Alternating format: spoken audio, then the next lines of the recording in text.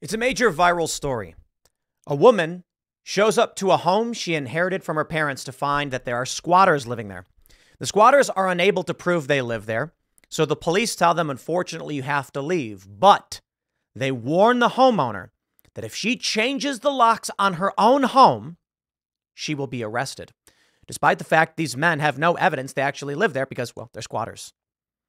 Why did the police try so hard to defend the squatters? The cops knew they were squatters. The cops knew these men had no proof they lived there, which anyone who was actually renting a property would. But they still warned the homeowner. Why? These cops are communists. Police officers have been quitting in mass for the past several years. The departments have been recruiting ideologically captured individuals, and they are acting as though there is a rule set. But like referees that want one team to win, they tell the homeowner, don't you dare use this home as your own. And to those men, look, just get me some proof you've been here, anything. The man leaves and comes back with some kind of bill. We don't know what it was. The police say, okay, good enough for us. Ma'am, you're under arrest. They arrest the homeowner. What comes next, I have long warned about. Vigilantes show up to evict squatters at Queens home where owner was arrested as neighbors reveal three people have been living there for free and carrying out work inside. The neighbors in this area where the squatters have taken over the home are terrified. They say these people have moved in. They're criminals. They know that they're doing something untoward. They're trying to cover up what they're doing. And many people say, well, you just, just got to go to court. You got to go to court. Vigilantes. Now, I don't know what these guys actually did when the press asked these vigilantes, they said, We're just going to talk to him. But I think you all know what comes next. I think about how things used to be. Man, you couldn't get away with this stuff 30, 40 years ago. You could not. Communities were closer. Cops would not cross locals. But now it doesn't matter. The police serve the regime.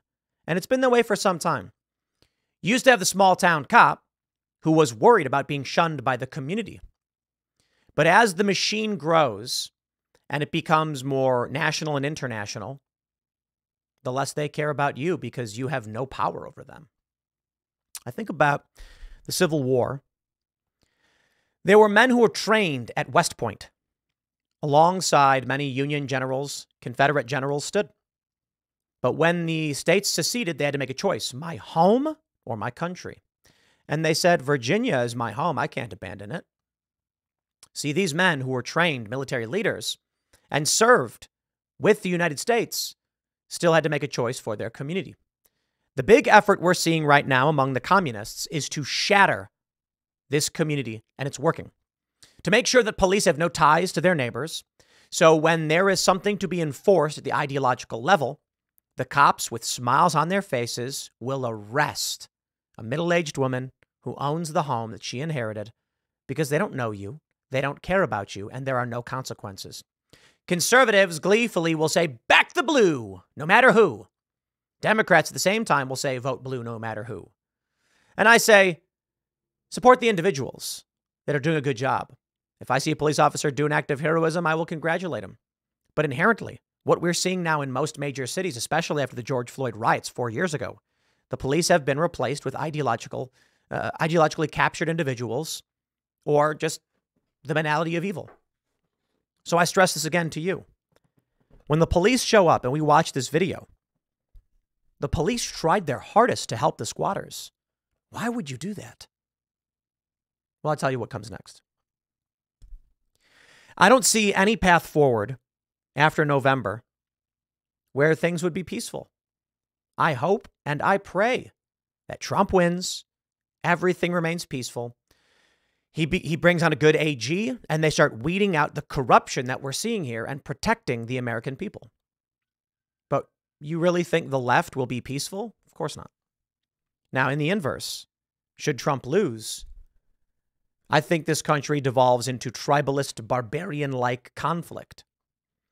Maybe I shouldn't say barbarian like, but I mean the left will certainly go around just taking what they want this will result in more conservative areas shoring up their own defenses, and it'll put them at odds with the regime police forces.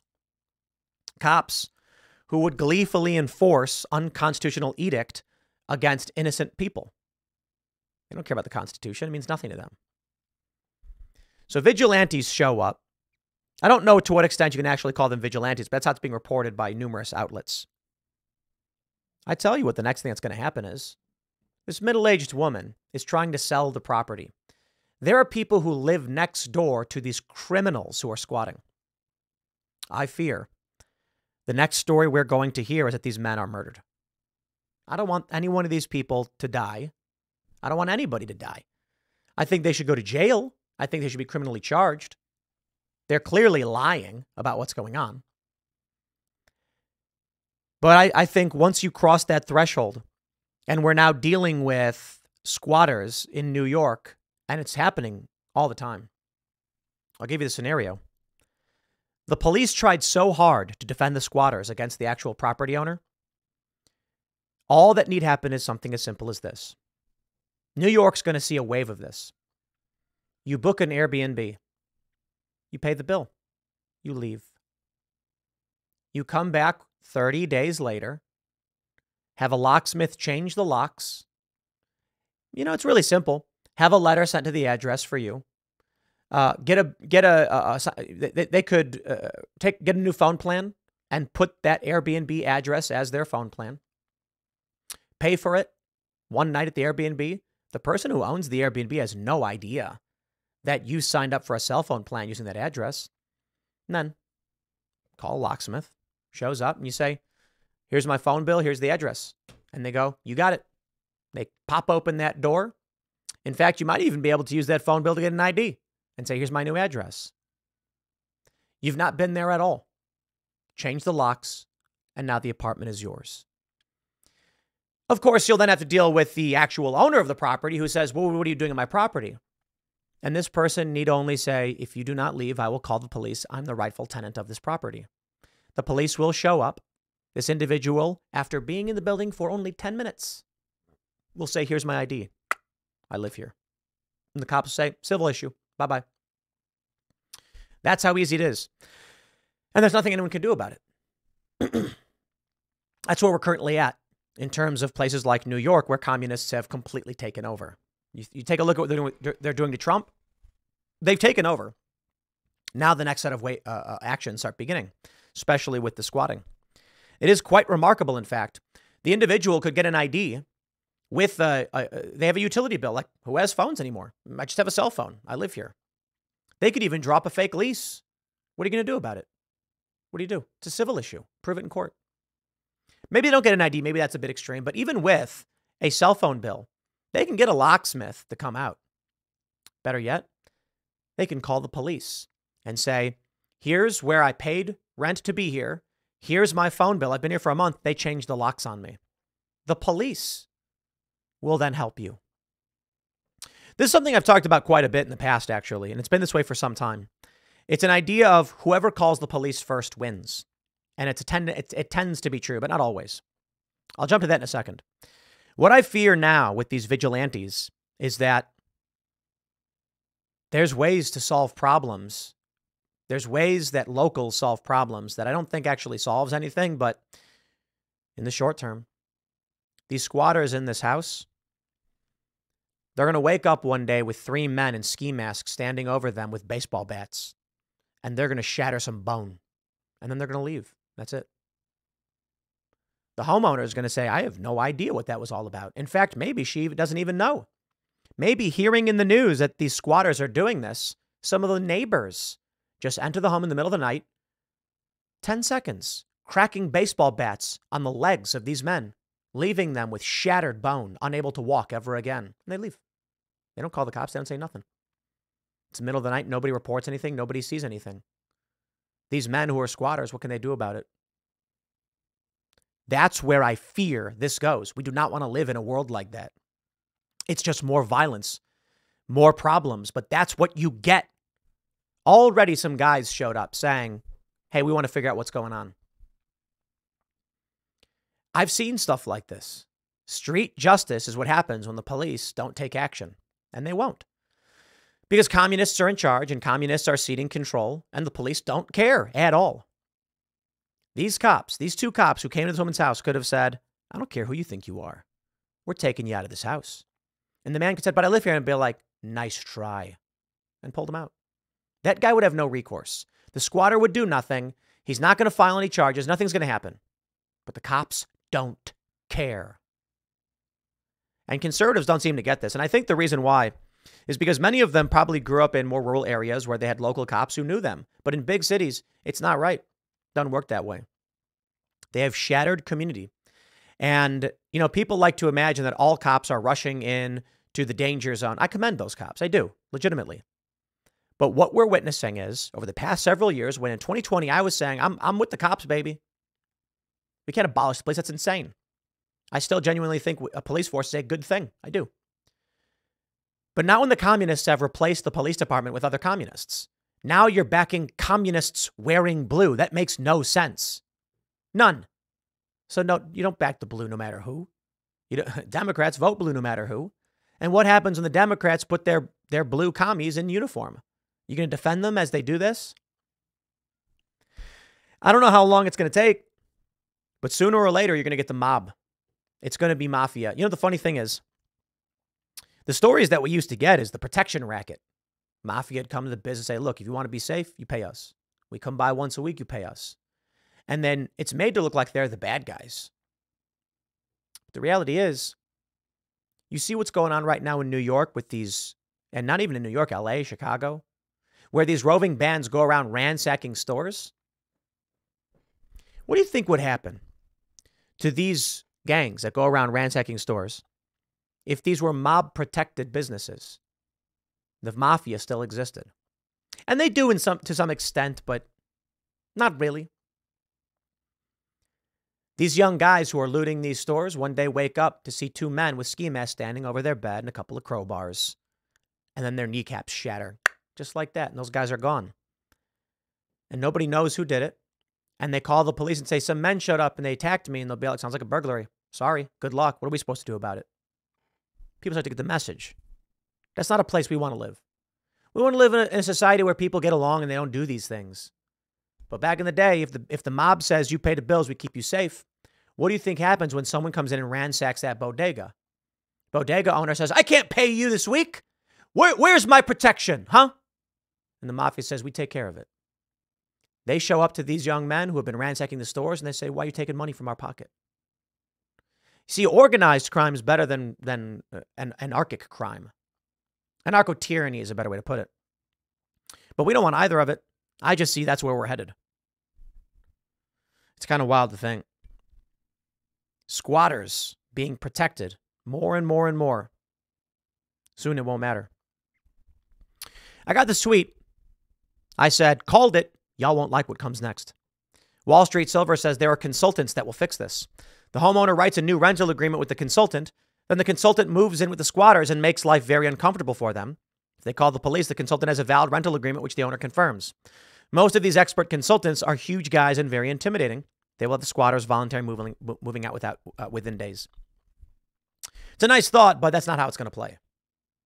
That ain't going to be how, how it's going to play. Look, this is a middle aged woman, okay? She's got a daughter, her daughter's got friends. And you take a look at street justice, you take a look at what this means. This young girl is going to say, My mom inherited it, my grandparents died, and they gave us this house, and these guys took it from us. And there's going to be some 21 year old, 23 year old dude, and they're going to be six three, and they're going to be, I'm not going to call them in shape, but you know, thicker guys, but strong guys. And they're going to say, We'll take care of you, honey. Don't you worry about it. And that's when these squatters wake up to find three men standing over them. In fact, they probably just wake up with a pillow over their face as their legs shatter within their flesh from baseball bats cracking down on them. Dude, I'm from the south side of Chicago, man. It's not a place, it's not, it's not a world you want to live in. My, my point with all this is I fear where this goes.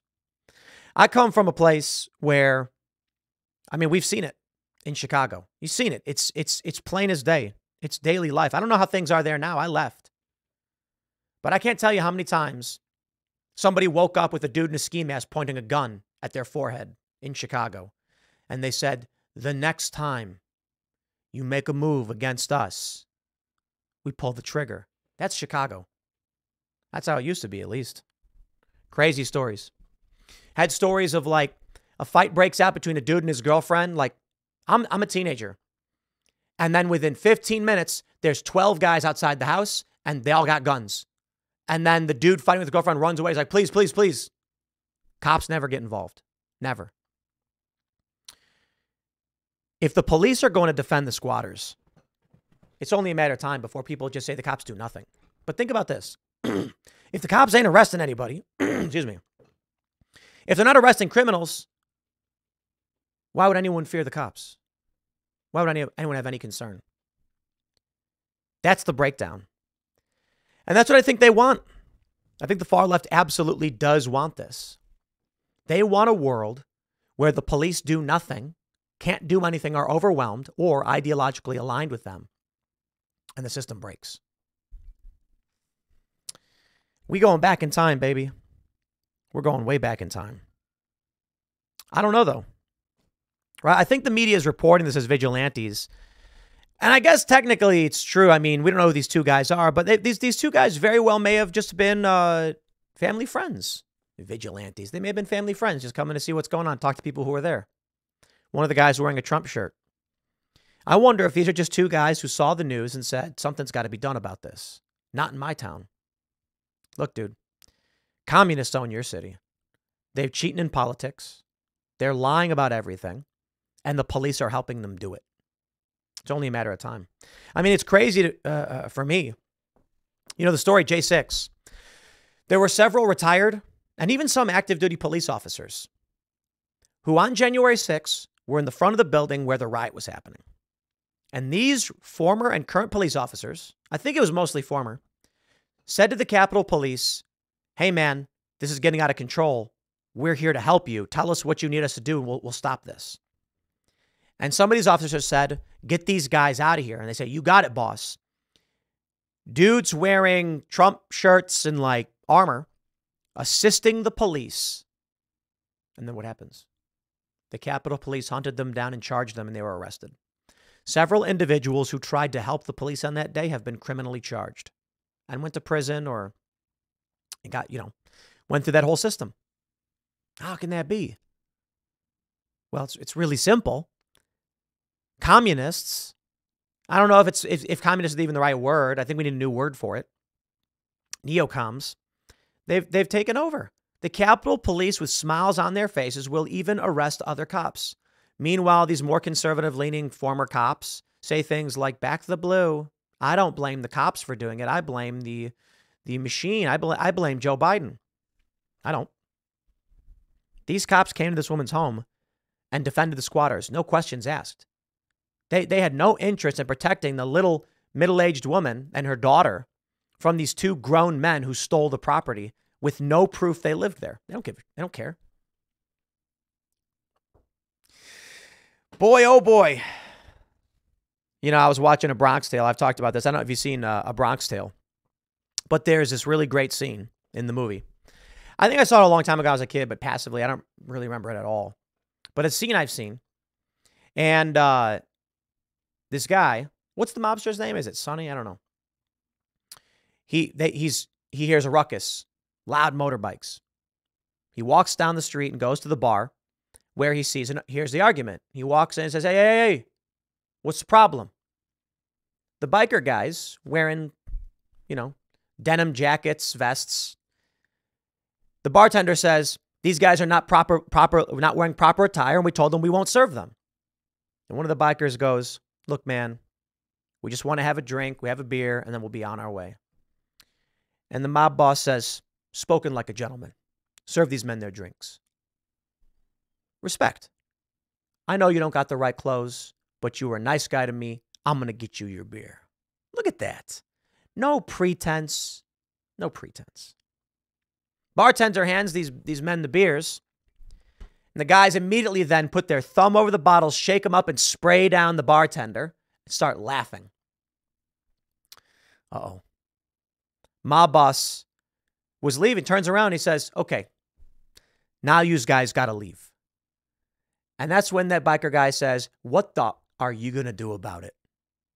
F off. So the mob boss turns around, walks to the door of the bar, closes it, and locks it. Walks back over, and all of a sudden, all the bikers realize what just happened. He says, Now you can't leave. I love the narration at that point. The main character then says, At that point, they knew they effed up. Back door pops open, and a bunch of good old boys come out with crowbars and baseball bats and guns and beat the living crap out of these bikers. I love the story. I do. I don't like the violence. I don't want to see that in my neighborhood. None of that. They drag these guys out, mercilessly beat them, and then smash up their motorbikes. From zero to 11. Like that. But I love the story. I love the story because the mob boss had honor. The honor was this you don't dress the way you're supposed to dress. The sign says you got to be dressed properly. But these guys asked politely. We just want to have a drink. And the mob boss gave them the respect they asked for. We didn't have to do it. And then they disrespected him, accosting the bartender. And after that, he only said, You got to leave. He said, I come to you with respect. You respect me, I respect you, have a beer. They sprayed down the bartender. That's not just disrespect, that's an attack on a person. Not the worst, but that's that's accosting somebody. And even then, he kept it at level one, saying, guys, now you got to leave. And these guys said, nah. Not only were they saying, we will attack you, we will disrespect you, and we will take your space from you. And he said, now you can't leave. I love the story. I want to live in a world, not with the violence, not with the beatdowns or anything like that, but the respect. If I want to walk into a steakhouse and I want to wear an unbuttoned shirt, jeans, and a beanie, and my money is as green as anybody else's, ain't nobody should tell me I can't spend that money. Now, if you're a private establishment, you want to have a dress code, fine. That's your establishment. A couple weeks ago, a couple a couple months ago, I think it was, we went to uh, we scheduled a dinner, uh, and uh, it's it's it's at this uh, place. It's got, they got skiing and they got a nice restaurant. And so we go snowboarding, skiing, snowboarding, and so we're wearing uh, um, snow pants for snowboarding. The restaurant's right indoors after you go snowboarding. Well, they tell us you're not dressed properly, you can't come in. And I said, This is a skiing establishment.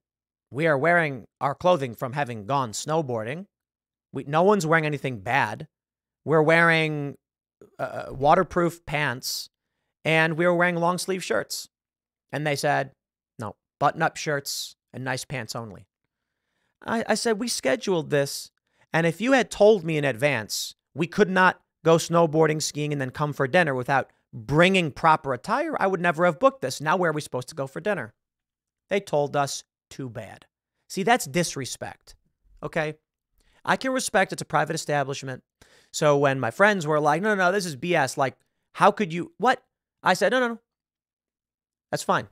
Went to the manager and I explained very calmly. I said, look, if you had told us in advance, you post on your website, you go skiing here.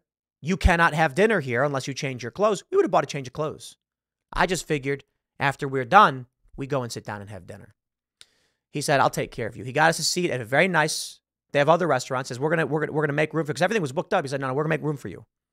That's respect. I respect that.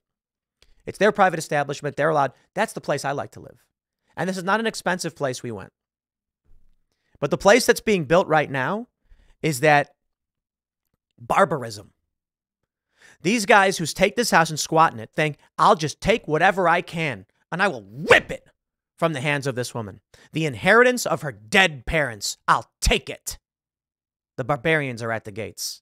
And ain't nobody is here to protect you. The cops certainly ain't going to do it. The cops are there to protect the barbarians. So what do you do? I don't got answers for you, my friends. I can only tell you get out of New York. The, the state is seizing, trying to, is, is planning to seize Trump's properties. They're using the law against them. Your property rights are forfeit in New York. And now we got we got our coffee distributor in New York State. Not New York City, but New York State. We're going to have to start making plan B for this. Things are getting crazy, my friends, and you don't want to know where this goes next. I'll leave it there. Next segment's coming up at 4 p.m. on this channel. Thanks for hanging out, and I'll see you all then.